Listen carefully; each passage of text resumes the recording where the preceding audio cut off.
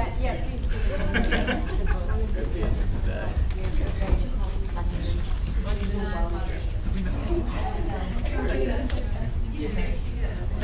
Absolutely, and, um, Wikipedia editathon on.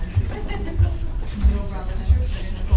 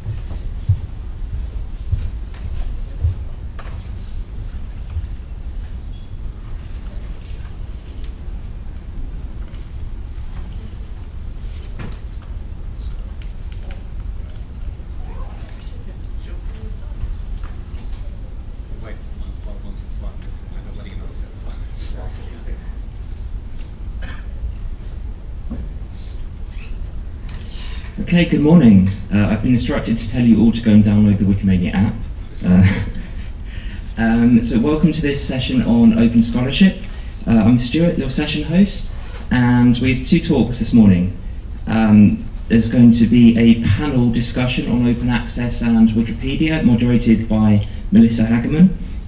Uh, but first, let's welcome two people who have been heavily involved in open scholarship for a while and now both work at open access publishers.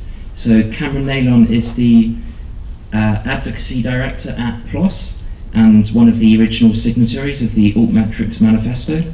And Ian Mulvany has previously been involved in building Connotea and Mendeley, and is now head of technology at eLife. And they're here to talk to us about the, the fount of all knowledge, Wikipedia as a front matter to all research. Okay, so, so with that kind of modest, modest title, and thank you for, for coming out at 9.30 on Saturday morning. Um,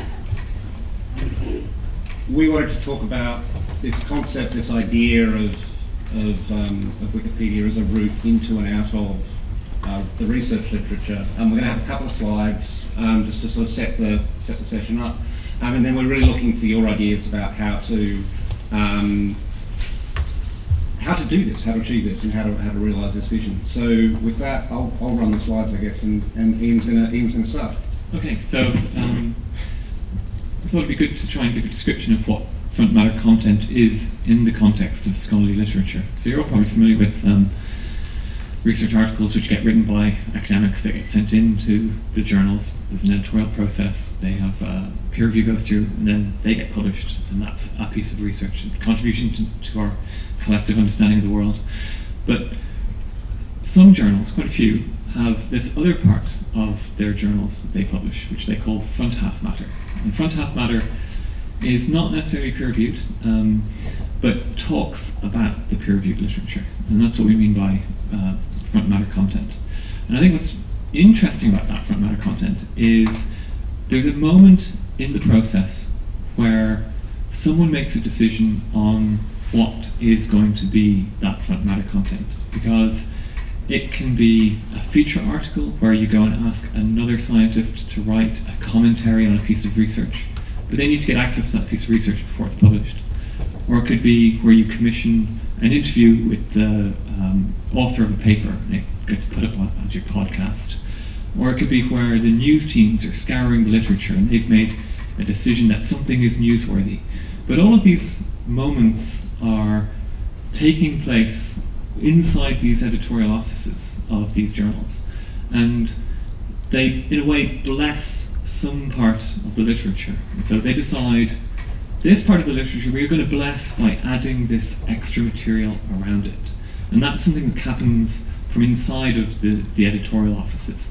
And those pieces of front matter content, they'll often contribute to getting your picture from your article onto the front page or the journal cover of that journal and gives the author that sense of prestige and feeling of, oh, good, I did a good job here. Um, and it can drive you know, up to 30% more traffic down to the original research as well. But there's nothing in that process which is provably saying that that research is actually better than any other research. It's just uh, this very human decision at that moment in time. And so when we talk about front matter, we, we, we generally are meaning the kinds of things that occur in the research literature, in those journals in one form or another, and I've shown you some examples from PLOS Life as well as a, a podcast here. I want to make the argument that this is also front matter. So this is the uh, Wikipedia article for a particular species of monkey called um. And the interesting thing about this Wikipedia article, aside from the fact it actually gets a lot of traffic, um, is that it appeared completely independently of the publication of the research article describing this monkey, but it appeared in Wikipedia within nine hours of the article being published. Someone who knew that they could take the material from that research article, they could take pieces of it, they could take video and images and audio in this case. It turns out the monkey makes a funny noise and create an article. And, and that article has had a lot more views than the research article, but it's a significant driver of traffic from Wikipedia to that research article. And so the real the, the crux of the point I want to make here is that creating front matter in the traditional sense, commissioning someone to write an explanation or a summary or an editorial about a piece of research to explain it to a broader audience is an expensive process and as Ian said, a selective process. And yet we have this amazing resource where this explanatory material is being curated and managed and created on a day-to-day basis. So what can we do to couple those things together? And, and bear in mind, as um, Elizabeth Marincola said in her talk yesterday, and you may have heard in, in some other places, Wikipedia is a substantial and major driver of traffic to the research literature. It is the eighth largest source of traffic through the Crossref DOI resolver. It is the sixth highest source of traffic to PLOS One, um, as an example. I looked yesterday. Um, so it's an important source of traffic, an important source of a particular kind of traffic to, to the research literature. Um, so, when thinking about this talk, uh, one way I like to think of characterizing it is the existing process is, is an inside out process. People with inside the walls of these journals decide what they're going to bless and they push that out into the world. And, and, and that will also so often be channeled out through um, press releases and drive the news stories of the day. But in a world where we have open scholarship and we, where we have open communities, we're looking much more at an outside-in process where the world which sees things of interest generates this kind of front matter content and helps contextualize it and bring people who are interested in those topics to the primary literature. And uh, you know, we, we currently have a couple of projects going on in Wikipedia which are helping with this. There's uh, the Wikipedia Open project. Um, Daniel's in- incredibly involved in this kind of thing. Um, however, my sense is that, in particular, publishers, publishers so far have not participated in thinking about this up until this point. And I think the routes for making these connections have happened organically, which is good. But the question we'd like to talk about today is are there any specific actions that we can take to help with this kind of process? And I have this vision that every piece of research of, of consequence should have its root into it from Wikipedia. There should be ways in which it is easy for people to curate the equivalent of um, uh, uh, um, review articles in Wikipedia which point as nodes out to all of the primary research of importance and which can talk about the debates of importance that are happening in research that have an effect on the general public. So, what are the barriers to making that happen, and what can we do today to accelerate moving towards that kind of vision? So, so we started you know, to think about this as, as this this cycle, this, this hopefully this virtuous cycle of information that can flow both from the research literature into Wikipedia, and again, Daniel's work on multimedia imports a great example of that, and Daniel regularly hassles me and others about what we're not doing to make that easier enough. Um, so there's those kinds of questions. How can we make it easier for research content um, to flow into Wikipedia? Um, but I think in particular, this question of what can we do to make it easier for people to, to travel from Wikipedia into the research literature, if that's what they want to do. Um, so we have a range of blocks. Um, the, the, ones at the top um, are maybe significantly techno technological, and then the ones at the bottom, um, in this case, are more about trying to understand who is coming, who, who's flowing down this path, and what are the paths. But with that, really, we'd like to you know open it up to you guys. See what do you think are the blocks as a starting point, and, and what can we start to do about them um, in the context, particularly in the context of this community. Does anyone want to kick that off? Daniel. Actually, I don't want to kick it off. I would like the others to uh, start it. But I have a long list. so, for starters, something that is not often talked about is images. Uh, like on uh, Wikimedia platforms, we have long switched from uh, well, basically bitmaps to uh, SVG, editable graphics format, for things that are not that have not been photographed, like uh, any nice uh, infographics or things like that. And well, almost all scientific journals they publish regularly such infographics that could be really useful in a media context.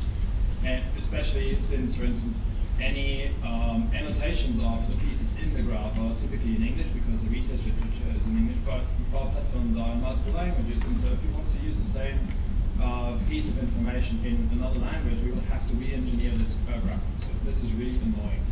I'll, I'll leave it at Yeah, so, so image, image formats and, and flattening them into bitmaps in particular, I think is, is one that we hear Why quite a lot. Why do you need uh, other languages? I mean, English is the scientific language, let's face it.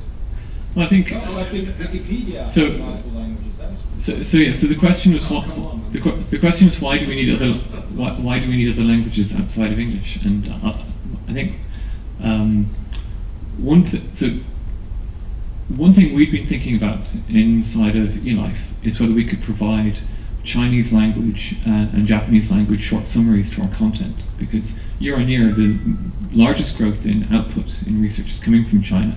Chinese authors take on average 200 hours to write their papers in contrast to 60 hours for non-Chinese authors.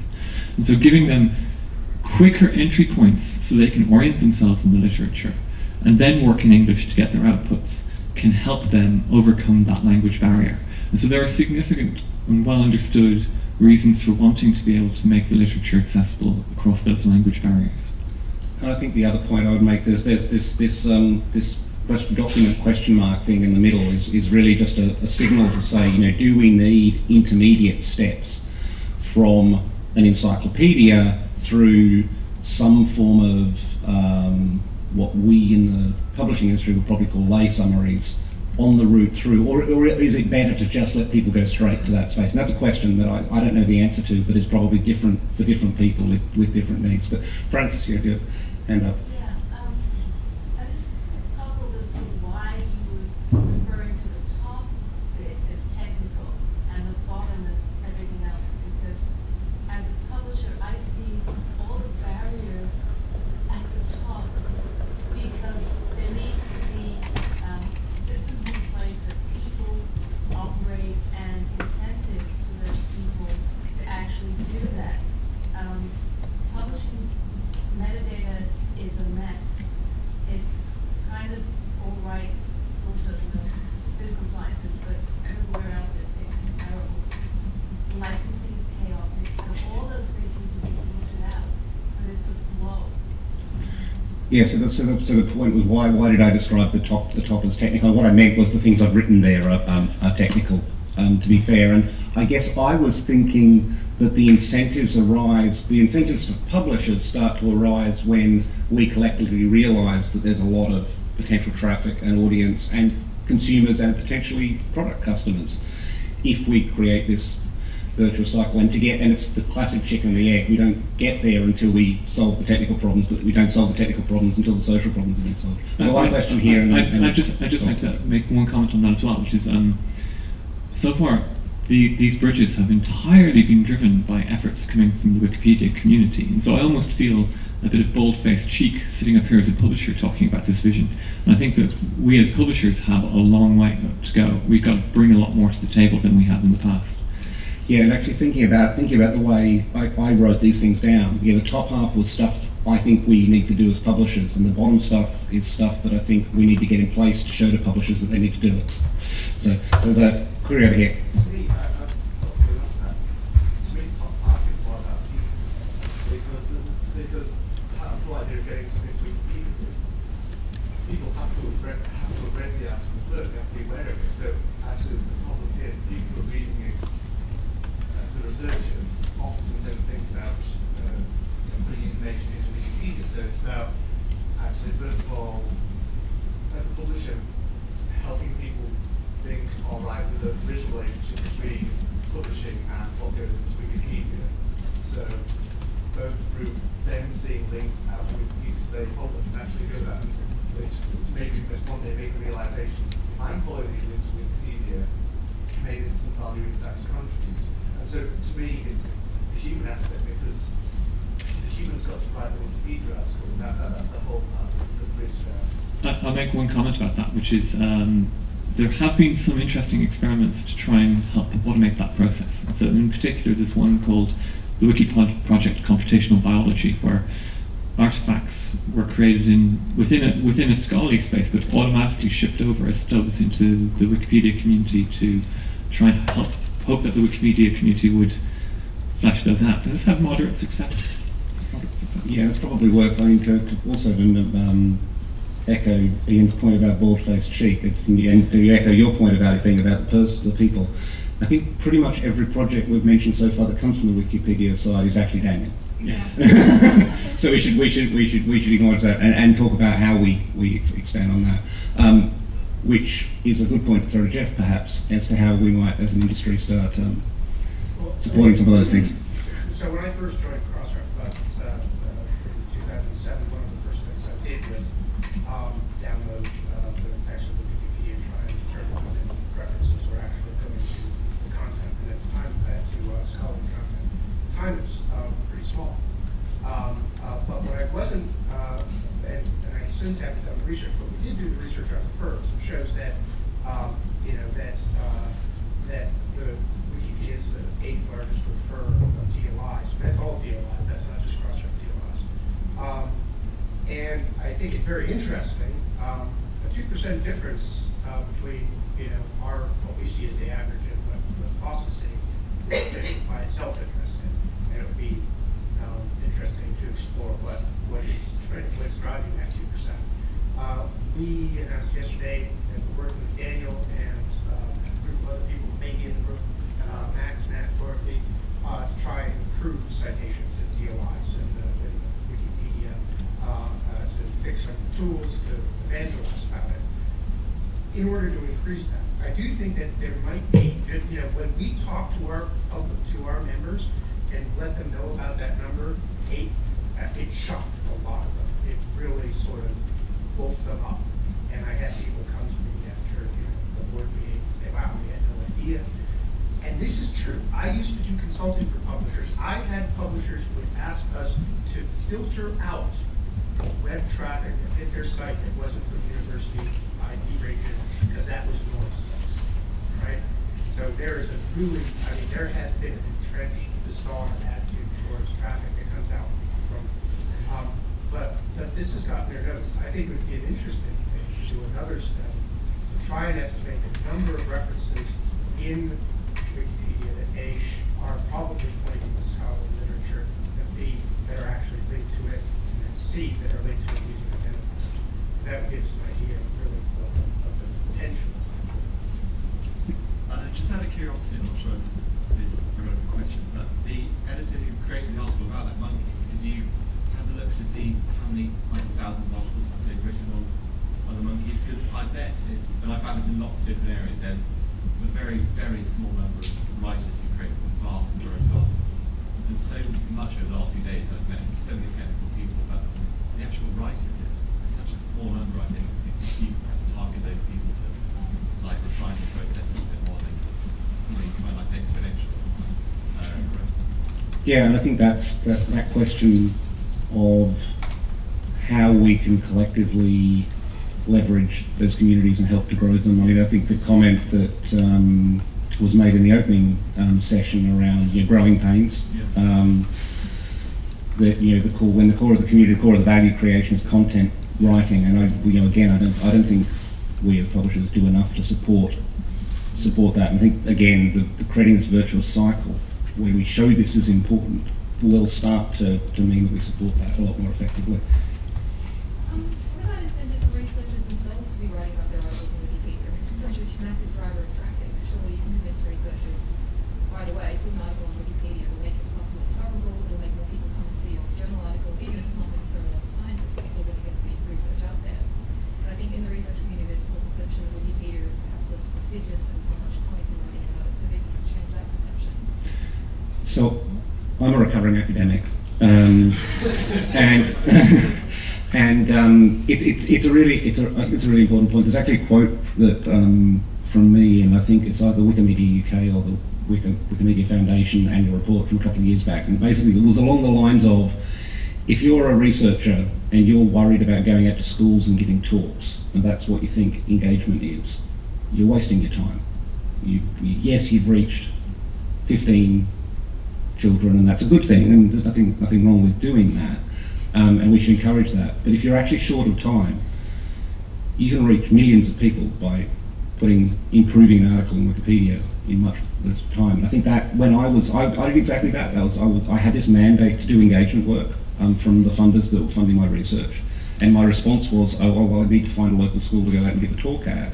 And it never really occurred to me that that would be a smart thing to do. So I think we need to we need to tell that story that this is one of the most effective forms of engagement, wider engagement that a researcher can can undertake. Daniel has Um, hand up, and then I'll- I'll- if I may, add one comment as well, which is um, PLOS ALM apps uh, starts now to track uh, references coming in from Wikipedia to scholarly articles, but there's still a gap. There's still, as publishers, we still haven't really done that good job on whole on letting our authors know when that event happens. But we're in a position today where we can know when those events happen. And I think the next step that we have to take on is having that conversation with our authors and saying, look, look, there is interest from this this area So the we world. know previously, so that the women publishers would decide what's going to be front matter and what isn't, so you can take this into your own hands. Yeah. It's not self-promotion then. Isn't, isn't writing an article self-promotion in a way? If you go to Wikipedia and you it with citations to your own work, isn't that any different than an author of a popular book saying, this is the best New York spec someone ever? Okay, so so I, I agree if, if the author is making those references, but, we, but I think I would see it as just a way of raising awareness that those references are being made. And I wouldn't necessarily say to the author, I would now like you to go and make more of them, but just starting that as a conversation raising awareness that that's an interesting and valuable location where commentaries coming into their to their article. Could But be I- it is, I think it's a really important point, and we know we know from other metrics that we have in the research space that if you put a metric in place, then people start to perform against it, um, and in a very instrumental way. So I think, and and and worse than that, we don't, as a research community, I would I would say I, we don't have the kind same kind of ethical framework that Wikipedia does have, and we even if the people recognised it was there, there probably isn't sufficient respect for that ethical framework and the differences between that ethical framework and, and, and, and the ones we have in research. So there's something we need to be very careful of. Um, I think it's I think it is a really really important point. So one hand somewhere here. Oh no, I did say Daniel was next, didn't I? Well, I have comments uh, almost everything that was said, let's start with the question about who started the Lesula article. I just looked that up. So that is a person normally working on improving references on uh, Wikipedia, actually. So he wrote actually a tool that helps with that. And uh, he has, uh, last uh, five years, contributed 500 edits, which is not a lot by Wikipedia standards. So he's not, he's not one of those that you were referring to. And only one of these seems to be another monkey or uh, ape, so he's not one of the specialists. And I think this is a typical pattern. Many people actually come in via things that are mentioned in the news, in the classical news, or in, in blogs or so, and then they check, well, what does Wikipedia say about it? And if it's a species that has been newly described, Wikipedia might not say anything about it, or uh, the article has just been started, and that's how people come in. Yeah, and that's uh, the curiosity value. If people sort of target that, because there's so many articles I've written just because, you know, let's say there's like a suicide bombing or someone famous being assassinated, or let's say there's some incredible new, like, historical thing that's been found. And, you know, I, I would create the article, put it on the front page, and you put it in like the did you know section, then you get reply to something relatively obscure going straight to the thing. And So is this then creating a paradox where we're saying that the only way to incentivize people to create the front matter is by pre-baking their idea that it might be interesting by putting it into front matter elsewhere? but I think it's thinking, like, there's a whole list on Wikipedia of like furthest away astronomical object. I have no idea what any of these terms mean, but just to know that something's like it, it was around like you know, a hundred million years after the universe started. And it's little things like that, like curiosity stuff. Because I don't really know about science things, but it's just a sort of like if you can make it something amazing to get people who perhaps don't edit Wikipedia as much as it should do. The the other comment on uh, your question, uh, we have one demo um, scheme in which, um, well, people from research, who are specialists in a certain field, write uh, review articles about a topic that is not well covered on English Wikipedia. Uh, the reviews um, drafted and reviewed according to the procedures at both the journal PLOS Computational Biology and the English Wikipedia with the help of the Wikipedia Computational Biology, which Ian already mentioned.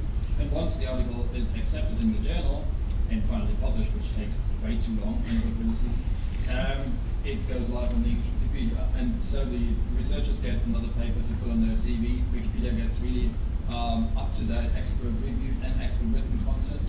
And uh, yeah, the journal gets traffic, so everybody's happy with it. And if anyone's in the room is interested in expanding that scheme, here.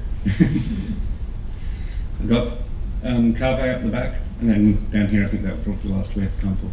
Yeah, just a quick comment. The, the idea of researchers writing on Wikipedia, a brief summary of, of the research, I think it's a great idea because in academia, Jay, I'm also a recovering academic. Not as painful as you see. Um, but in academia, from what I remember, there's a kind of competition to write your paper in your abstract in as cryptic and as difficult to understand a way as possible because you look mature. I remember writing a paper and then my, my supervisor said, well, you haven't got enough equations in there. Lit- and literally, and when I looked at the, I looked at all the, the, the journal, the back papers, that it seemed as if there was a pattern. Even if there was no equation needed, it was quite understandable. You need to get some some stuff in so that we publish. Um, and I think a lot of academic, a lot of papers that authors have actually difficulty in writing a paragraph in in the you know I as a non-specialist would understand, and it would filter out most of the crap that's been published. It's um, s- one thing we didn't say earlier on, I think it's an important point, is that the publisher, respo- the publisher response to the, to the idea that we need clearer summaries of research work is always, is, is the the immediate thing to say, well, we'll get the researchers to write a, a, a lay summary, because we don't need to pay anyone to do it, and obviously they're the experts. And some people, a very small proportion of researchers, can write really excellent lay summaries, and most can't. We, Um, we, we, we write we write a lay You write- summary write. for every single research article, and we started with the idea that the researchers would do it, and we've abandoned that. And we we get their sign off on the summaries that we write for them. It's called a eLife Digest, but they were incapable of writing that themselves on them. But it's just too expensive to do that for everything. And that's the, that's well, how can we how can we bridge that gap? So one last one last comment before I think we have to close. I would like to come back to what the lady said. I mean, uh, getting researchers uh, to be interested in Wikipedia. I think um, I consider there are those playing in the major league, uh, and uh, those possibly very difficult to get because they would like to get their publication. I'm a physicist into physical review or physical review letters and so on and so on, and they wouldn't care about Wikipedia. Uh, but then there are those playing in the minor league, trying to get into the major league, and they are possibly very interested to spread what they have done uh, into all, all sort, into all the channels. So aren't you afraid that you may get at the uh, end uh, rather those who play in the major, the minor league than in the major league? Um, knowing what is good ahead of time is very difficult. So, uh, one of my contentions with the front matter as we have it construed today is that it in no way correlates with the quality of the research. And so I don't. I, I think the only worry I have on that topic is I'll worry about that in about 100 years when I look back and see if we made any mistakes. But I'm not going to worry about it before then. I think at the end of the day, the quality quality is a misused and badly used word. Um, research has qualities, and its its most important quality is that of use at some level for some things. Whether that's further research, whether it's education, whether it's interest and engagement, um, and it is incumbent on all of those of us who receive public funding in particular, but, but do research to configure the way we communicate in the way to maximise its use. Um, and the bottom line, I wrote about, I wrote a blog post about this yesterday, so you can, I'm just borrowing words from, from myself now, but the um, Wikipedia is one of the primary information flows of the 21st century. There is there is no two ways about it. It is the third, second, whatever it was, most trafficked site on the web. Um, fifth, sorry. Um, and that's behind you know a couple of search engines and little things like that. It is the primary way that people come to information, and we, as researchers who need to continue to make the case for public funding, um, ignore that at our peril. So, just to just to finish off, I, I wanted to finish by by reading two quotes, and then move on to the panel session. So, so many of you will have seen this quote um, from the great philosopher. Um, and it's one that we often use when we talk about research and the web and the internet and, and, and indeed Wikipedia. Um, but this is a very insular version of how researchers could use the web, actually. It's a, it's a, it's a vision built on this is for, was built for us, we should use it. Um, I think there's a different vision, and this was a quote, Martin Poulter pointed this out to me last night, um, that comes from Tim Berners-Lee. And he's really talking about what an encyclopedia is in its, in its original sense, the notion of it being the source of, of information where experts and interested people can come together to create, update and curate knowledge. But I think it's that bottom line that I think is, is, is, is critical. The importance of a paper is in some way conveyed by the number of links is away from an encyclopedia. Um, Tim saw that, you know, getting on for 15 years ago, um, it's about time we started to get there. So with that, thank you very much. Um, I'll just say if you would like to continue this discussion, we'll have a London Open Drinks event next Tuesday in a bar not far from here. So check it out, londonopendrinks.org. Hey. Yeah. Thanks.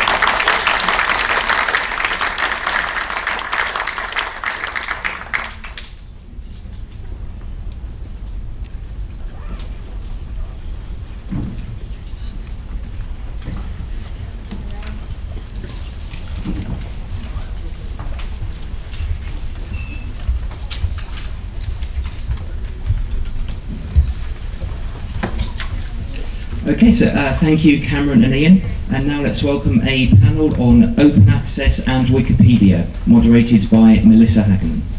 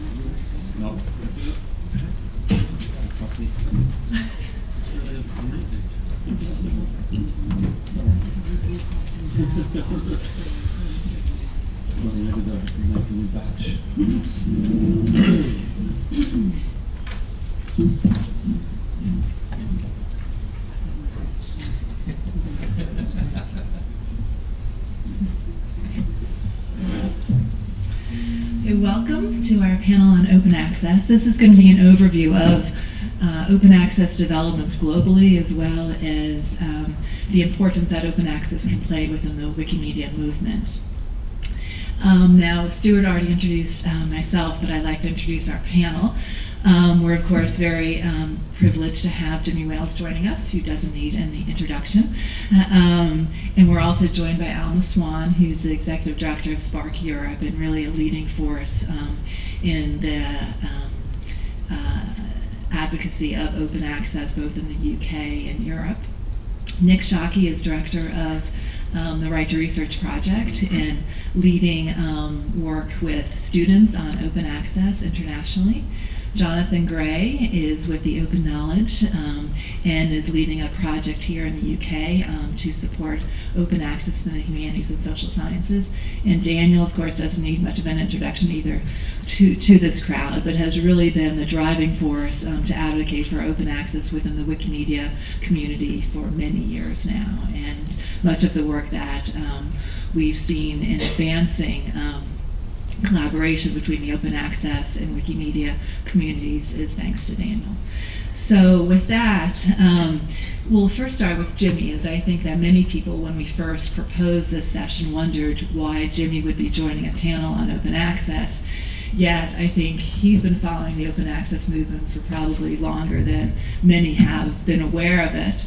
And we might have that um, thanks to a very long taxi ride in Brazil um, when um, we had a captive audience. But um, to help frame our session, Jimmy, I think it'd be helpful if you could share why you think open access is important and how it can really contribute to the Wikimedia Foundation's mission. Yeah, great, thank you. Um, well, so uh, I'm, I'm going to talk about four uh, four areas of where why I think open access is important, uh, and I will start with uh, with Wikipedia. Um, this is actually fairly obvious and straightforward. Uh, Wikipedia is the for, first port of call for uh, 500 plus million people every month. Um, throughout the course of a year, probably a billion people come to Wikipedia um, seeking uh, knowledge, seeking information. And so it's really important that this community uh, of Wikipedians um, and, and all the ones who can't make it to Wikimania have access to high quality uh, information so that they can update the entries accordingly. And uh, because the Wikipedia editing community is dispersed and amateur, only some portion of the community would have access to proprietary academic journals. In fact, probably a very small portion of the community, I would estimate 5, 10, 15% have some kind of access. Most of the rest have moved on from university, they're out in careers, um, or they're um, too young, or they never went to university, or who knows where they live, and so forth. And so the more academic research is available to this community, the more they will be able to improve the encyclopedia um, instead of relying on you know, more distant uh, sources. So that's the first reason, and the direct reason that actually, uh, you know, was my initial interest in uh, open access. Uh, then, of course, there's the research community generally, and I'm talking here about the uh, just the, the mainstream research community, um, where you know even when they do have access through expensive journal subscriptions and things like that, um, there's all the possibilities of reuse. There's all the possibilities of building on each other's work in innovative ways that is more than just, um, oh, I'm going to read this paper. It's I'm going to actually take this paper. I'm going to take the diagrams from it. I'm going to take the data set. I'm going to redo some new things. I'm going to data mine the body of research. There's all that kind of interesting work that can happen much more easily if the licensing is right and everything is, is um, allowed uh, to be done. The next uh, group or area I'm uh, very keenly interested in is in the developing world. Um, one of my favorite uh, slides that I use sometime, which I may have stolen from Melissa, I'm not sure where I got it originally. Uh, there's a, uh, uh, a, a, journal article called something like um, On the Problems of Access to Knowledge in, in Sub-Saharan Africa. so it's an, it's an analysis of the problem of access to knowledge in Sub-Saharan Africa and you see the web page, and then you scroll down and you see to, to read the paper costs $35. Uh, so the paper itself is in, you know, is on the web in such a form as to illustrate the problem of uh, access to knowledge.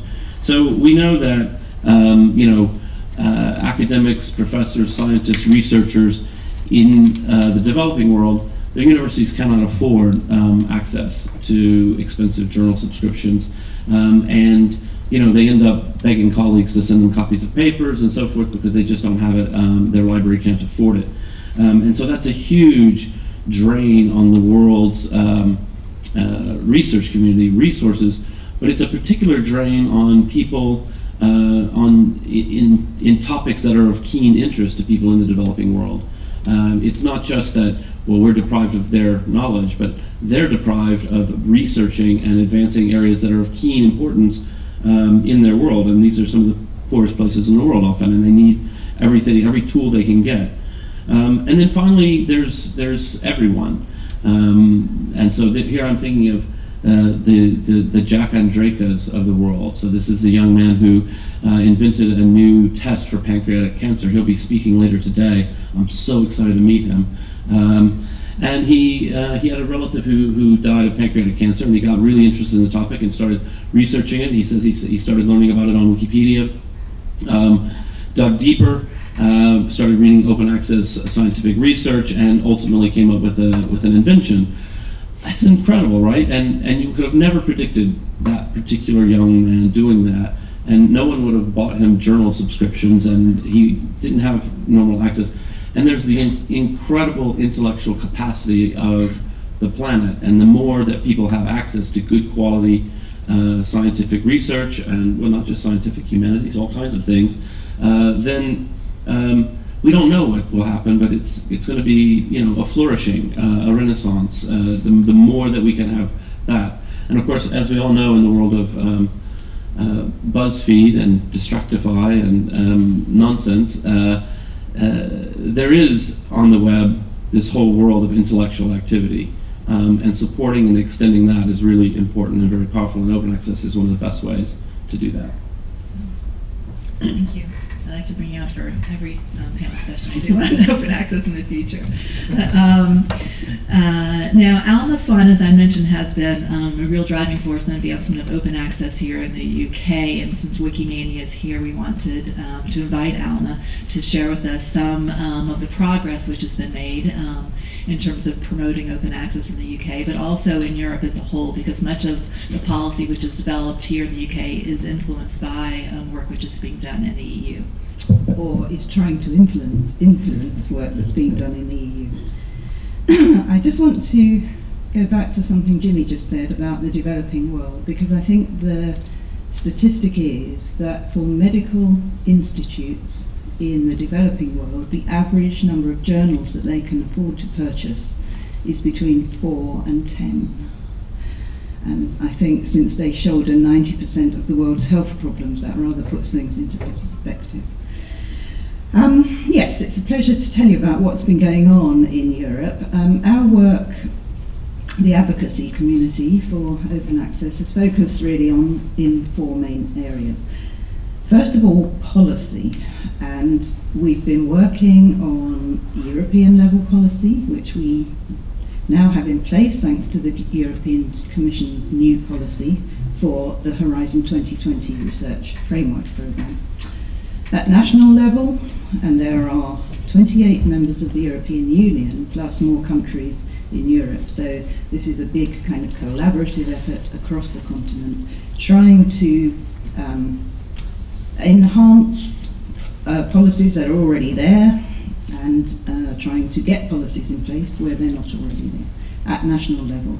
Um, and also there's been a lot of work done at institutional level, so the level of individual universities and research institutes to try to get a complete, consistent policy uh, picture. Now this is a long way off getting that complete, but, but it's on the way now and it's going to be helped by this new European level policy. And there are two projects now which are funded at EU level working to support that policy, to help to promote it, to help to um, push it across the nations of Europe that don't yet have policies, and to train people in what open access is all about. So where there already is a policy, we work to try to get improvements because none of them are perfect. And this is uh, the way of doing this is just to uh, keep trying to get incremental changes in the policy. And each time we do that, hopefully it gets better. Authors are another big area. Um, I don't know what to say about them. I've been, I've been doing this for a very long time now. And we have had some very major successes, and I do think open access is now part of the common parlance of authors. But it's still there's still a big job out there to raise awareness, and when we've done that, to make sure that they understand what open access is all about, because it's very easy to get things uh, slightly wrong, and there are a lot of misconceptions that tend to turn authors away from it. And then to get them to realize the importance of it and then to change their behavior, to accept it and to start providing open access for themselves. Now, policies help with that, but they do, don't do the whole thing. And advocacy within the author community is very important.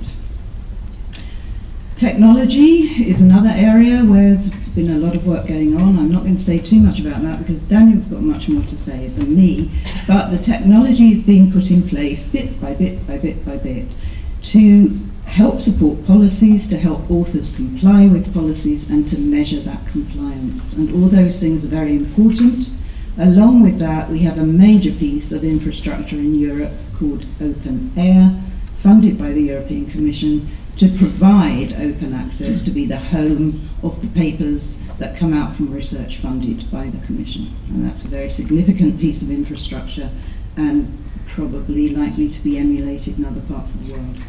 And then finally, just to touch briefly, an area on permissions, and Jimmy mentioned this, the fact that we want the scholarly literature to be available for reuse as well as reading. And reading is very important, but being able to reuse it in research is critical these days. It's the way much research is going.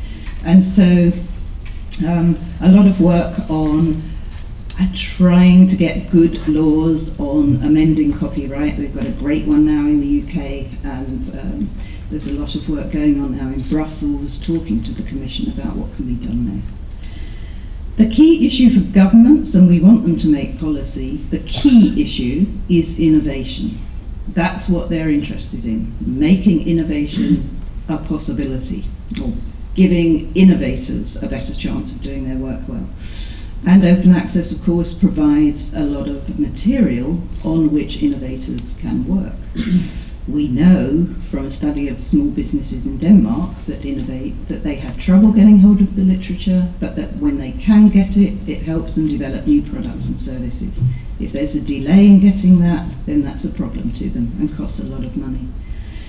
In making that argument to governments, which they will listen to, we need evidence and we need examples of success. And we're constantly on the hunt for those, and I believe there are people in this audience here today who will have some. If you do, we would like to hear them, please.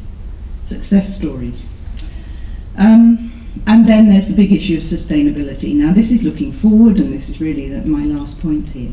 But what we're trying to think about now is how to work on the advances we've made for open access and look at how to put together a system that is going to be sustainable for the long term.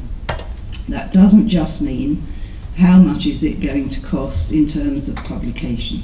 That's a big argument and a big area of discussion, but we're not just thinking about that.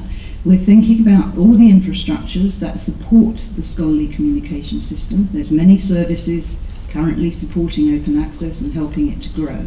And most of them are running on project funding or goodwill. You all know about that.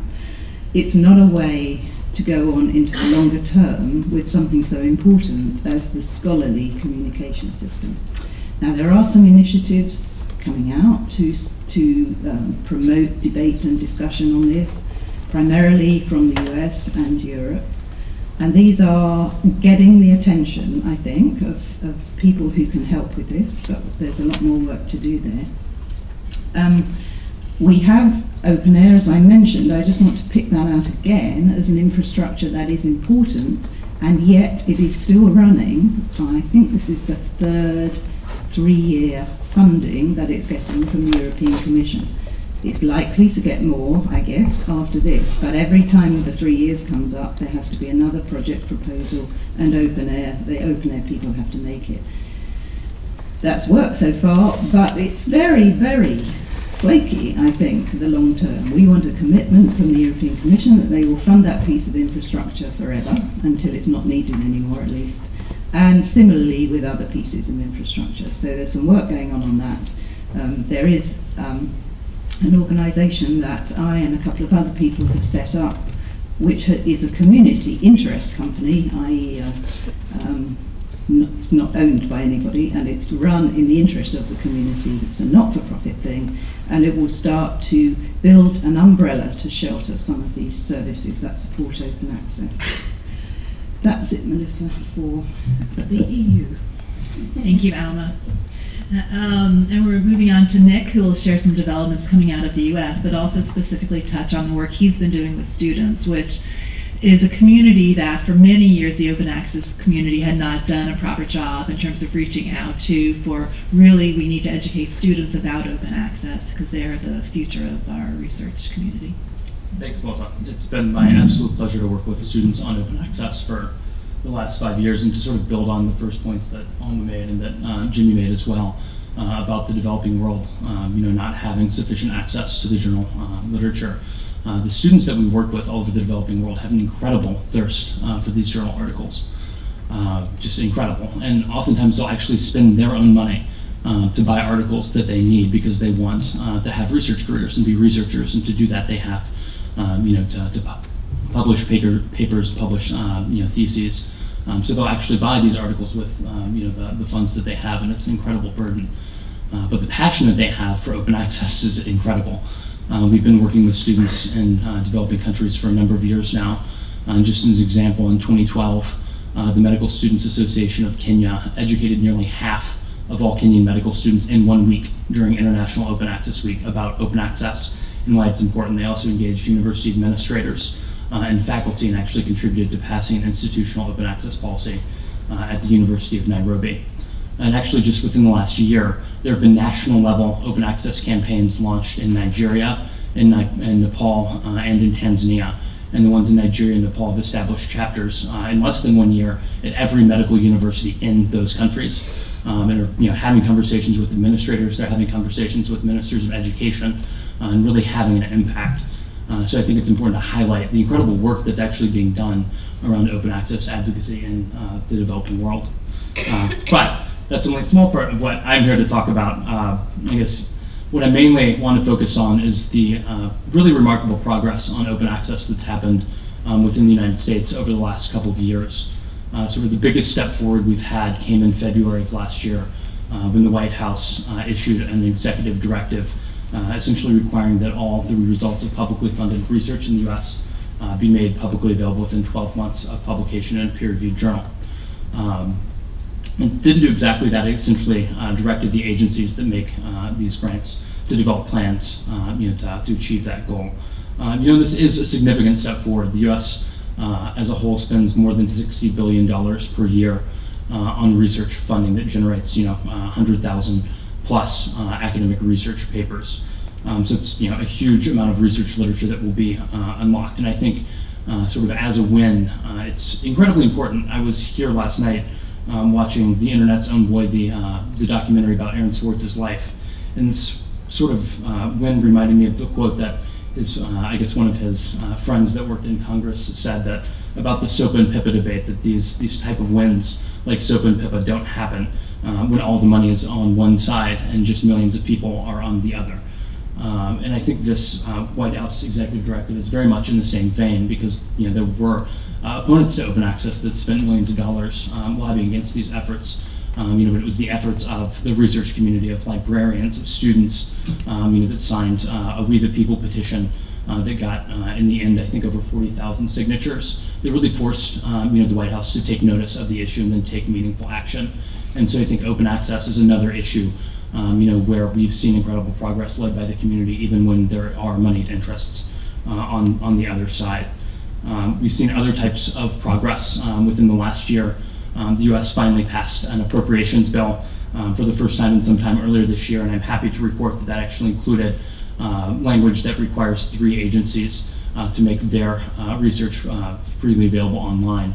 And that, in some senses, is somewhat redundant to White House directive, but legislative language in the U.S. is much more durable.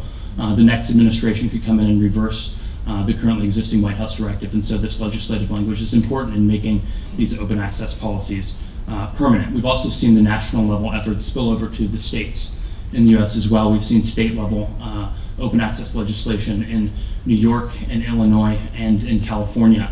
And I'm happy to report in California last year uh, when the legislation was first introduced, it uh, passed through the California State Assembly by an overwhelming uh, majority. Unfortunately didn't make it out of committee that session.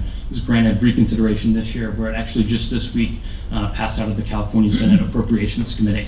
Um, so there's great effort um, and progress at the state levels where well, but just because there's progress doesn't mean sort of the battle is won. I think there's a lot that the community still needs to be doing to make sure that we actually see uh, sort of the full benefits of these policies that have been passed and defend them, um, you know, against those that wish to weaken them.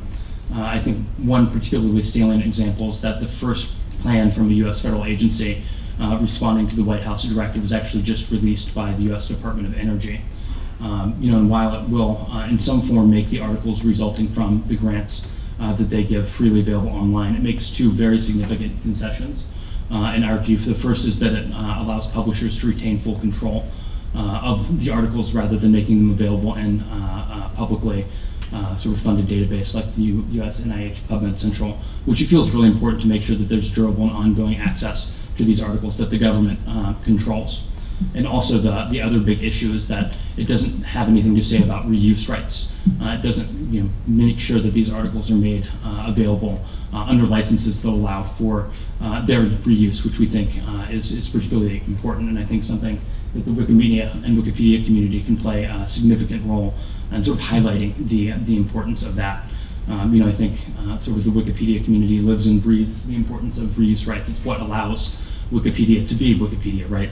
Um, you know, when you have an image or a video on Wikipedia, it doesn't link out to somebody else's website. It's hosted by Wikipedia. How great would it be if the scholarly articles that are referenced in Wikipedia could stay within Wikipedia, right? If you could go to WikiCommons and actually read the full text of these articles that are cited in all of the Wikipedia pages. What if, um, you know, through Wikipedia Zero in some countries, you can not only read the Wikipedia article, but you can click on the reference and read the full text of the scholarly article that it's referencing.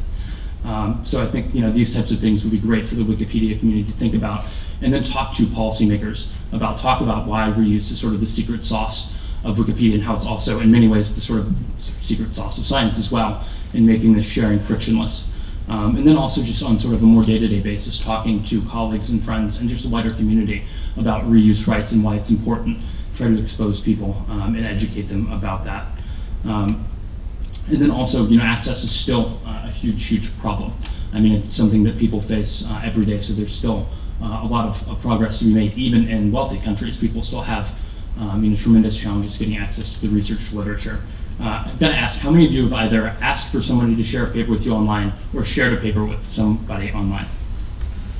So I think that sort of tells you what you need to know. But um, you know, I guess one thing you might not be aware of is actually there's a PhD candidate in Colombia named uh, Diego uh, Gomez who's actually facing eight years in prison for doing exactly what you all have done, uh, for posting uh, actually a master's thesis online. Um, he's facing eight years and criminal, uh, criminal prosecution um, for having done that. And this just shouldn't happen if open access um, you know, was the norm and these papers were available. You wouldn't have to go sort of around copyright um, in order to share this incredibly valuable information with colleagues um, that need access to it. Um, so with that, I just want to close by saying that this sort of passion from the student community that I've been privileged to see has been incredible. Um, you know, the work that I mentioned in Nepal, Nigeria, uh, in Kenya, um, Tanzania, and elsewhere has just been uh, really incredible. Some of the, the best examples we have of student engagement come from those places. Uh, and the Right to Research Coalition has grown from a petition with six organizations in 2009 uh, to now sort of a fully grown coalition of nearly 80 student organizations that represent about 7 million students in a little bit over 100 countries. And the, the projects that come out of uh, these student organizations are incredible. Uh, and I think one I just want to highlight in closing is uh, one called the Open Access button that we have a few representatives from uh, here in the room, which is an effort to not only chart uh, every sort of collision with the paywall that people have, but also help to connect people with freely accessible copies of articles, and even send people, uh, authors of articles emails when people run into paywalls trying to get access to their articles. Um, you can read more about it at uh, openaccessbutton.org. Um, it's just an incredible project. Uh, and then lastly, we're hosting a, a, conference later this year called OpenCon uh, 2014 in Washington, D.C., which is an effort to support and catalyze student and early career re researcher-led uh, projects and initiatives related to open access, open education, and uh, uh, open data. And so if you are a student early career researcher, I'd really encourage you to check it out and apply to attend. We're giving travel scholarships to a large, large proportion of uh, the participants, and so we'd love uh, to have you there as well. Thank you, Nick. Now, while we're seeing open access advancements um, really in the uh, STM fields, where um, we haven't really done enough is in the humanities and, and, and, social sciences. And so Jonathan is going to share a bit of the opportunities and challenges which we're still facing in these fields and some work which um, Open Knowledge is going to be doing um, to help um, advance open access here.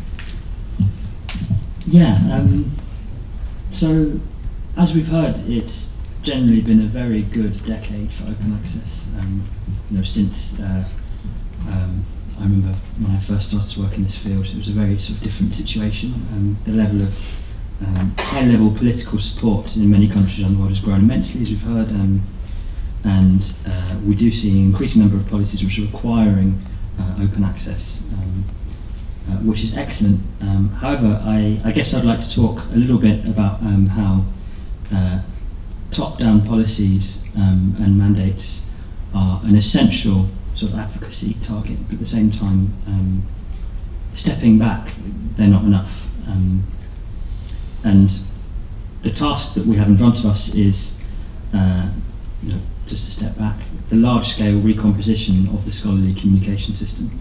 Um, we're looking at sort of change from end to end. And I think um, part, partly what I wanted to talk about is uh, looking at open access not just as a single issue, but within the broader uh, context of um, scholarly communication system and higher education, um, and how that kind of broader context is playing out in relation to uh, humanities and social science researchers' um, objections to, to, to open access. Um, so I think ultimately what we're keen to see is, um, in addition to these top-down policies, we need leadership and active support from researchers um, who are working in many of these fields. Um, as we said, there's, there's really incredible progress that being made in STEM. I think also the arguments are often clearer. Um, you have extrinsic arguments to do with um, you know, whether it's development or medicine or science, progress of science. Um, in humanities and social sciences, uh, the extrinsic case is not so clear uh, in, in many cases. I mean, it obviously depends on the subject. Um, and still, that's where we're seeing um, the majority of opposition and uh, support. Notably, I guess, in, in the UK, um, it, it's, it's really been striking how um, uh, the humanities and social sciences have been uh, vocally, most vocally opposed to, to sort of current um, policy. So I guess the first thing I want to look at briefly is why, um, and to take this seriously rather than just assume, you know, we're right, they just don't understand. Um, there's, there's got to be something in it. Um, you know, uh, on one level, you know, to me, I'm, I'm also a researcher, um, in addition to the sort of policy work I do. Uh, one level, open access seems obvious. Who, who would be opposed to greater, um, more easy access to, to research, which is the stuff that you, know, is the, the lifeblood of what you're doing, it's lifeblood of scholarship. Um, on the one hand, there is, I guess, in the social sciences, a lack of general awareness. Still, I'm amazed, speaking to sort of senior colleagues, how they just don't really understand, you know, maybe something to the internet, technology, don't really understand what it is. Um, I would add, also add that actually one of the things which is slowing down um, uh, the recognition of the problem is the fact that um, piracy is endemic in um, uh, amongst sort of early career stage researchers and researchers in the humanities and social sciences. People go onto websites where they download books illegally, um, not realizing that actually that's not probably the way that the scholarly communication system should function, um, nor is that a sustainable um, way for the um, system to work. Uh, I think there is widespread misunderstanding, there is lobbying, um, there are concerns about sustainability, um, but I think it's important to, in addition to all those things, look at, you know, there are issues with career structures, um, there are issues with the way in which reputation and trust accrue around different publication venues, and people often mistake the cart for the horse and think that, you know, because the, uh, the reputation of the journal um, is, is going to be the thing which gets them sort of tenure or sort of a lasting job. And they mistake the, the, the value of that journal um, as being the thing which is important rather than the scholarly community around that, which is actually the thing which is giving that publication value. Um, but also, I guess, stepping back, um, particularly in the UK, I'd argue that we need to look at um, some of these things within the broader context of um, changes in higher education, um, changes in funding. Um, I think a lot of people feel under attack about the pressure to you know, commercialize and you know just talking to academics, they're kind of worried there's kind of like they, they, I think there's a lot a, a, growing sense of things being imposed on them from outside. so, I guess my contention would be our task as um, people who are in, in many ways um, leading um, open access uh, and at the forefront uh, of, of, the open access movement, um, we need to listen to many of these concerns and take them seriously um, and look at the bigger picture and appreciate the challenges and concerns that people have. Um, and there is a kind of basically big task still of um, sort of fairly old-fashioned community organising within uh, scholarly communities to identify leaders, to um, take this on as something that needs to be, uh, you know, approached institution by institution, field by field, um, to take on this grand task of recomposition, um, replacing or kind of finding alternatives to uh, existing sort of closed access publications, um, making self-archiving ubiquitous, um, and um, encouraging early career stage researchers to set up new open access venues, uh, and all kinds of other things. I think um, just as important as the day-to-day practice is um, doing a better job at communicating to more different audiences the big picture of why this matters and ultimately why we think that uh, open access should be a fundamental quality of the scholarly communication system that we want in the future. Um, not just something which is sort of imposed from the outside, but something which is very obviously uh, a desirable property of scholarship. Um, and I think uh, part of the work that we're planning to do is to continue to develop a strong, bold um, public uh, interest vision around um, uh, what sort of uh, scholarly communication look like in humanities and social sciences. Uh, and so we're looking at um, right now at uh, what we can do to secure support from high level um, academics like public intellectuals um, in humanities and social sciences in the UK um, to systematically address some of the recurring concerns that we see. Um, and it's amazing. Um, we were at a conference last year, and uh, some of the misunderstandings are incredible, like uh, about plagiarism and um, attribution and the implications of uh, open access. Um, ultimately, we want to build uh, bottom-up momentum for open access uh, in humanities and social sciences, and open up people's imagination about what the system should look like in the future, rather than just being quite conservatively looking at um, the way things work at the moment and being nervous about um, changes. Um, I guess I'll close there. But if you are interested in uh, open access information and social sciences, please do come and talk to me uh, about um, what you're working on. I'd love to hear about it and see what we can do uh, as we're building this work in the coming months. Thank you, Jonathan. Um, and Daniel, as we mentioned earlier, has been doing much work um, between the two communities and fostering collaboration between both the open access and Wikimedia communities. And now, specifically, he's working on a project um, to signal when an, an article is open access um, in a Wikipedia article. And yesterday, he had a session on this, but there were some technical difficulties. So it will be. Uh, we're hopeful that he'll be able to um, show some slides of the project, and we might even have a live web link here. Yeah, well, uh, um, there were also there's the technical difficulty that I didn't have a microphone there, and we haven't stared at the Wikimedia screen for a while. So I thought uh, Wikimedians like to look at media wiki uh, pages, and so I'll, I'll bring up a few. Uh, do you have the Lesula page still open somewhere? Uh, so it was in the slides. It wasn't. Oh, you could have. You know, there's such thing as the internet. Um, so let's look for Wikipedia. Maybe the search engine knows about it. Yeah. So um, I'll show you probably just two pages on. Oh, what's this?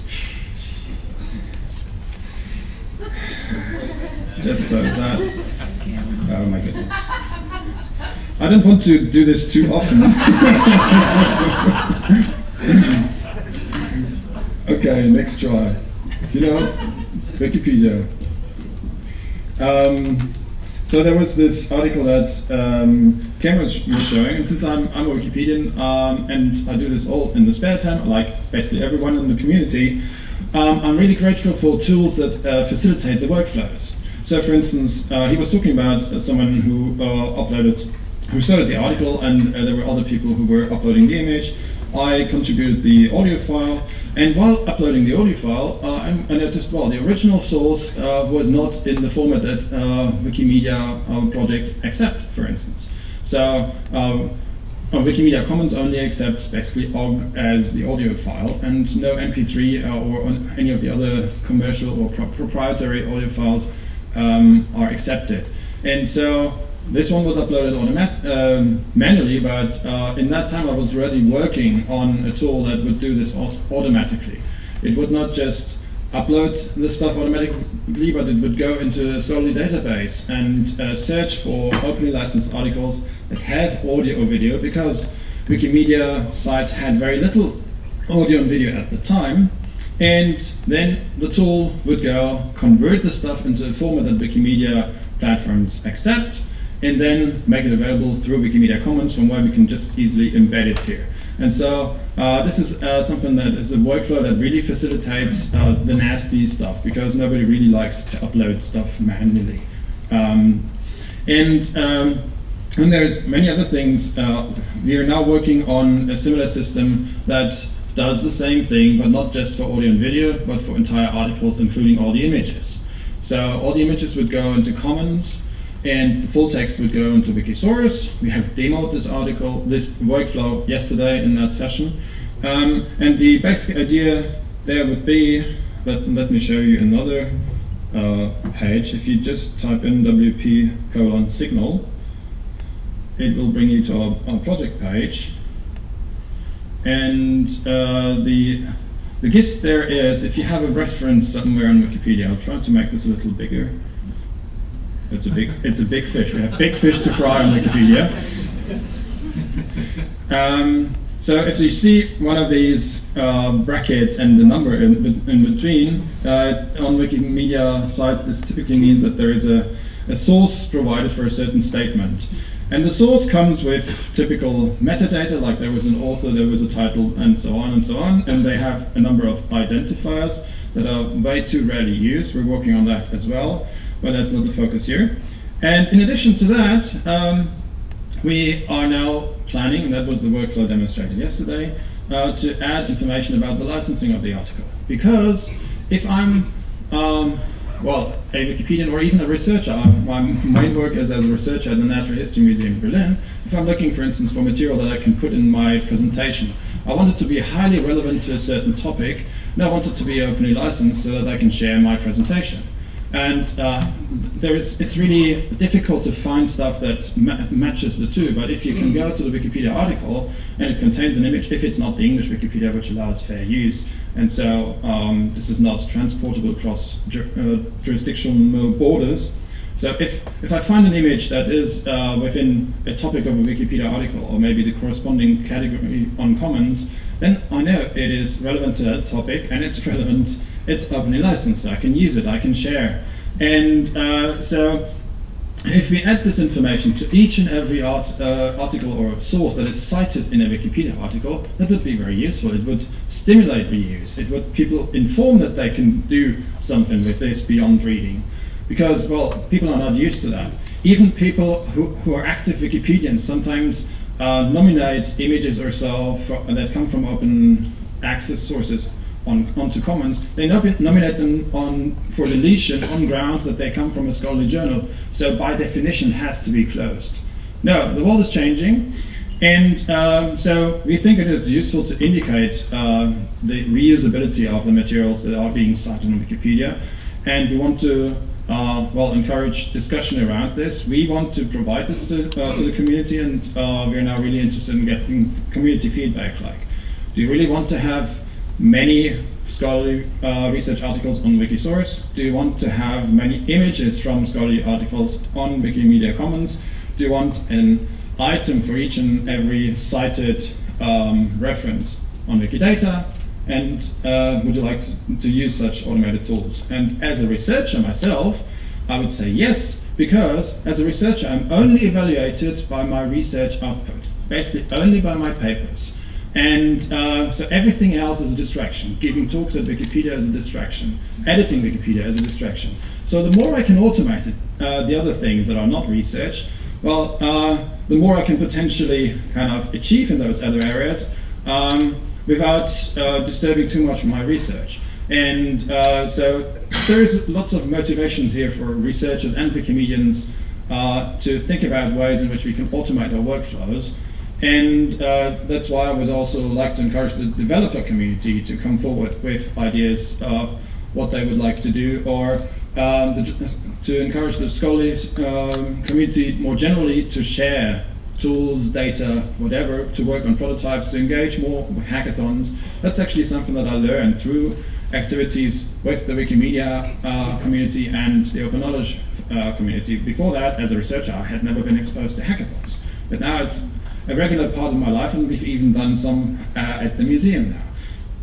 Okay, I'll stop here. Thanks, Daniel.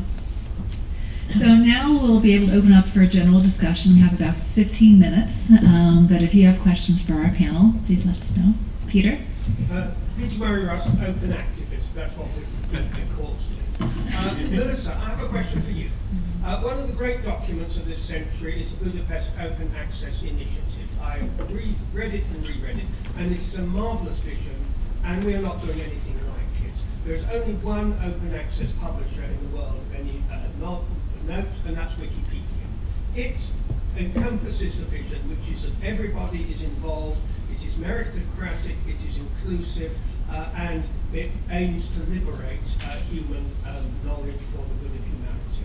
What we're doing in open access at the moment is a bureaucratic um, process to glorify 20th century publishing instead of building the communication uh, um, outlets of the 21st century. The current publishers are not democratic, they're not uh, transparent, and they are not Well, I'd say that I think we've made great progress over the past 12 years. And yes, I- our, I would and- agree with Okay, and just to give um, background um, to the other participants, the Budapest Open Access Initiative is a um, is a visionary document which um, we developed in 2002, um, which first defined open access. and is, is more background. Um, my my foundation, the Open Society Foundations, our goal in helping to develop the open access movement was originally to help um, bring the research to the developing and transition countries which we um, serve. But we knew in order to get that material um, to this audience that we really needed to, to build a global movement and to work on advocating for public access to publicly funded research um, from the world's largest research funders. And so I think that we have seen progress in making that research freely available online. Um, I take your point that um, you know more needs to be done on the publishing side, but I think with eLife and PLOS that we're seeing many um, more innovative pu- publishers come along. But as a foundation, we didn't feel like we could invest in the development of the publishers themselves, and that has happened organically. Um, more needs to be done, but I do think in the past 12 years that we have seen many advancements. And in addition to the publishers, of course, the articles themselves are available through institutional and subject-based repositories, which is a, which is an advancement as well. Now, I know Ian, do you have a direct comment? Yeah, I've got, I've got a response to what you say, Peter. I genuinely completely agree with you, and uh, just want to contrast the situation we're in publishers, publishing space. I'm a publisher, in, uh, and contrast that to Wikipedia. One of the big differences, I feel, is that the means of production in publishing space remain closed, and the software and tools for making those production remains closed. Yes. There are two parts in particular that are specifically closed. First is the generation of XML that's required for deposit, and the second is that we output in PDF. In contrast to Wikipedia, the means of production is completely open. It's an open so- software system. It has its open uh, uh, means around how you use it, how it evolves, and how it moves forward. And there is a movement in publishing to try and create more open tools, but we have a very long way to go. And I think until we get to a point where those tools are fully open and the means of production are available to the community, there's going to be that dissonance, and it's going to remain for a while. So that's, that would be my one comment. it's Treat authors like first-class citizens and not canon. There will actually be a session on the relationship between open access and open source uh, tomorrow. I don't know where, uh, but around the same time. Alma, you have. Uh, yeah, I, well, I, just to echo uh, Peter's hurrah there, I think, um, Peter, if you want this, and we all do, it's got to go back to the author researcher community. That is where this final shift is going to come from. I don't think you can expect big publishers to turn around because they're not going to. So the innovation and the change has to come, I believe, from the bottom. Policy is fine and it's helping change minds, but the innovation and the change in the ways of doing things has got to come from the authors. So we have to go back to them and start with new arguments, I think, and, and to enable them with these tools, or to ask them to develop the tools in the first place. Yeah, I think there's a lot to be said for the, the value uh, in pushing for good public policy around uh, access to research, because I think it sends a strong signal that's important that open access is the norm, that it's the future, that it's you know what big research funders like the U.S. government or the European Commission, um, you know, funds such a large amount of research, expect um, you know of the research that they fund, and I think that can be very helpful uh, in sort of uh, creating a culture where uh, people are more open to different types of publishing, or more open to different models. Uh, to create more fertile ground for different sort of models for publication for all, uh, to ultimately develop. I think it is important to talk about the model in which open access can, uh, can come. And uh, I think there is a wonderful model that that's worked very well. The, the fact that the authors put the, the preprint online. And this is uh, the reason why it developed the invented the web. And uh, I am astonished that uh, and this is the fact that it, it, inside this we don't know that there are some people who put the preprint online. And uh, I think uh, it is very important. The responsible of this is the scientific communities. One should uh, uh, push the scientific communities to encourage the, the authors to do an archive. Because of course you also need the, the, the factory process, which is very important, is expensive, but the publisher, or whoever does this, cannot charge an unfair amount if you preprint it online. And, uh, you just need to have the preprint online to mark that it has been recognized, published somewhere. This is done. Problem solved. But the disability communities are their responsibility. So I completely uh, with you. Uh, and I think for those of you that might be newer to open access, there's sort of what, something that's important to understand. There's uh, sort of two types of ways to make an article openly available. You can publish it in an open access journal like PLOS or eLife that makes all their articles immediately and freely available online under a CC BY license. Uh, or, uh, you know, if for whatever reason you have to publish in a closed access journal, um, you can make your article, the text of the article, either the preprint or uh, the author's final uh, version, uh, available online either through an institutional repository, by a subject-based repository like the arXiv or NIH's PubMed Central, or through preprint servers. Uh, and that's something that a lot of researchers don't, I think, frankly, realize that they have the rights that they need. Uh, in fact, I think it's something around 70, 67 or so percent uh, of journals uh, allow for authors to make some form of their paper freely accessible. And so I think in some sense, a lot of the problem, at least getting the text of these articles online, uh, is sort of, uh, there's a solution that's right there. It's just that there's not a culture, uh, you know, of authors making these copies freely available, so many don't. A few uh, influential people do that, uh, they will not be jailed for people who. The community has to act. An author, an author alone, then maybe find some problems, but the community uh, coherently says we we are going to, to do this, uh, the publisher can go exact this. They have done this for this. Maybe different. You're quite correct. They have done it in physics. Um, they started doing it in 1991, and the sky didn't fall in and still hasn't. And we still have publishers publishing journals in physics. I agree with you about this is what I mean about changing authors' attitudes and behaviour. They have to understand what this argument's trying to get them to do. They have to accept it. They have to agree it's important, and then they have to do it. And it is a very difficult job to take them through that. Policy, as I keep saying, does help because it underpins changes in behaviour. It can catalyse culture change, but it needs to be supported then at the author level by constant persuasion and and evidence that this is going to benefit them. I think that this is happening in some disciplines. It's certainly happened in some areas of physics, certainly, but not all areas of physics. As you talk to some kinds of physicists, they, they still go, oh, open access.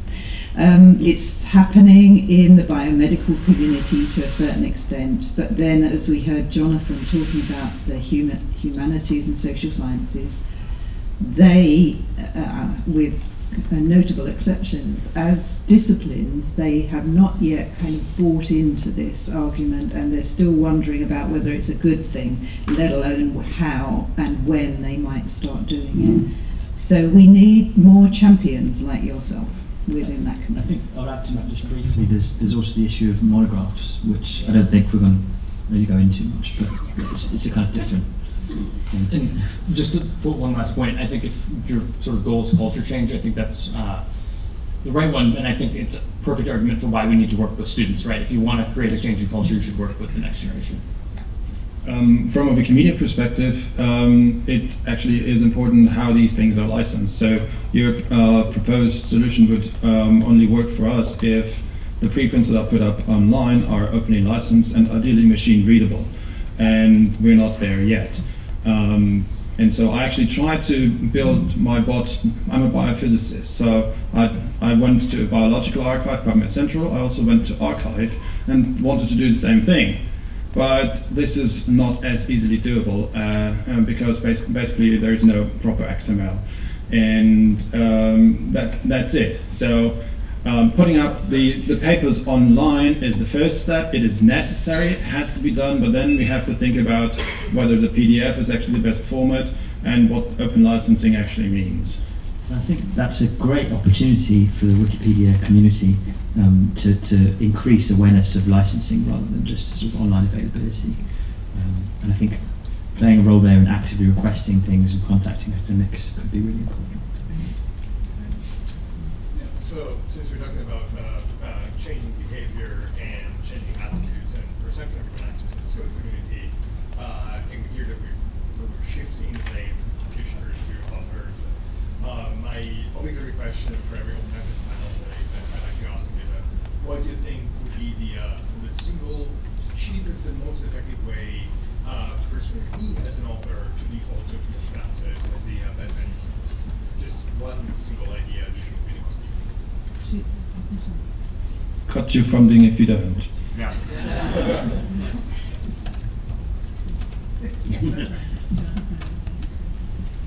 I guess, so this is a question that we deal with, um, you know, working with students and early career researchers, I guess for my money, um, probably the single most effective thing would be to put promotion and tenure policies into place that reward openness, because that's what researchers respond to, and it's something that makes it particularly difficult, I think, a lot of times for early career researchers to, to be frankly as open as they'd like to be, because they feel the pressure that they have to publish in Science or Nature or Cell, uh, or what have you, that has an impact factor that's close, because they feel like they won't be able to have the research career um, you know, that they want otherwise. So I think it's incumbent upon research funders and university administrators to you know, create an environment where openness is supported. I think that would be the single most effective thing. Again, I would say recognise it as part of um, career paths, like build it in, basically, whether it's through a research evaluation or through sort of like finding ways of sort of citing um, self-archived material, or there's, there's various other things you can do, but career structure. One more. Um, Yeah. Thanks for your discussion here. I was interested in picking up on the point about engaging politicians and uh, innovations, talking about innovation. Um, with my engineering academic background, uh, a lot of the research calls that go out, um, you have to demonstrate benefits to the UK economy. Um, you know, if you're applying, applying to British institutions. So to me, even the very nature of that is closed approach because you know if, I'm trying to do engineering work in developing countries, um, I to demonstrate benefits in the UK. I don't quite have, see how that works if I'm working on a, a slow sand filter in Ghana. You know? So how does that conversation with politicians go in terms of innovation, in terms of whether that sort of approach is, is by its very nature?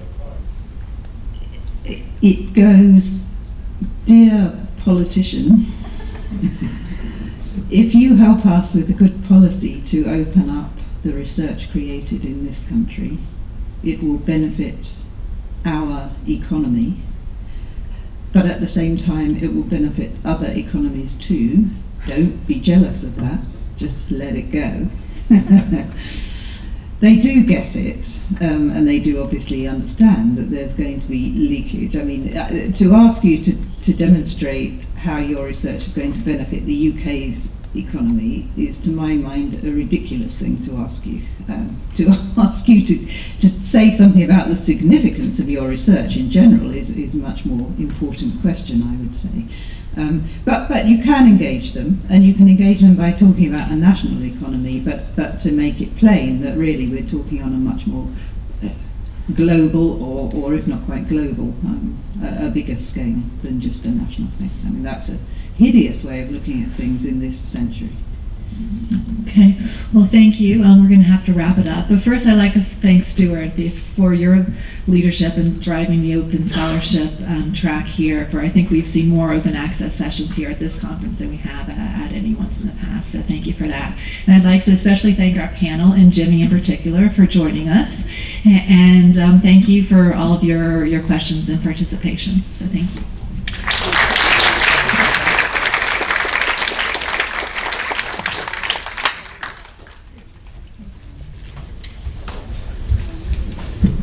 Thank you. And so to remind you that the next session in this room is Wikimedia 2 grants, and that will start at 11.30.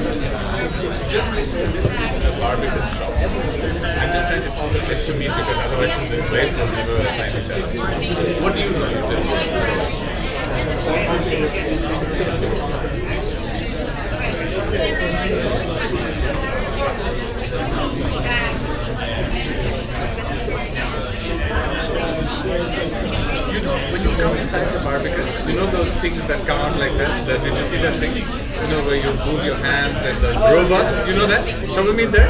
Perfect? Okay, 4 o'clock. I'll see you there. Okay, bye. Um,